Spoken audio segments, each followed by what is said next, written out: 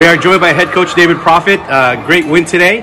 Uh, come back from behind. Coach, tell me about that game and what was your message to the team being down uh, two sets down to uh, San- Santa Barbara? There was uh, there was moments of you know like are we gonna we gonna catch fire here? Are we gonna warm up? Are we gonna get into a rhythm?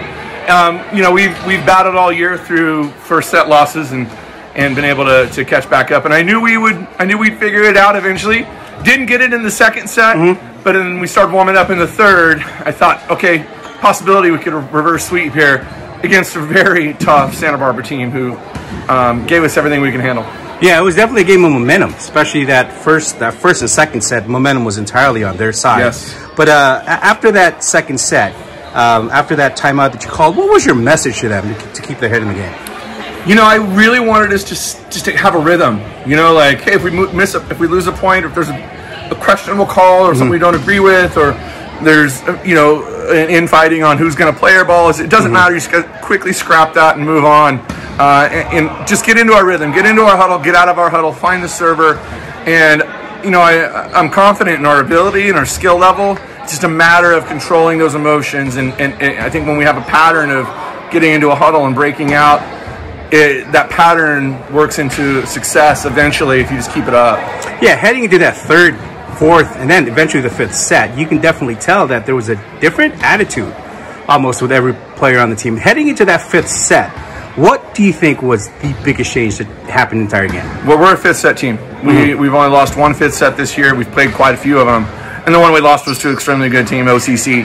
Um, and so I think the message I gave them after set four was we're we win set we win fifth sets we win mm-hmm. the deciding set mm-hmm. we're that team that's our identity we want to have that identity um, and so I think it just kind of instills some confidence sure. going into that set. Yeah, sure. you can definitely tell. Even though we went down right yeah. away in, in, the beginning of the of the fifth set, um, we caught fire and, and were able to, to get to get a few point lead and um, and close it out. Do we know who we're up playing against up next day? I do not know. I, I know my, my phone is ringing right now.